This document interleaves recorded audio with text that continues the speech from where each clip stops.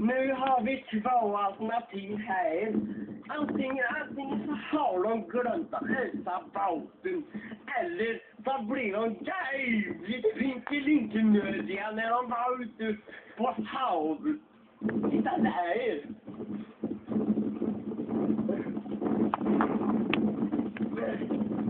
Jag tror, jag tror på det andra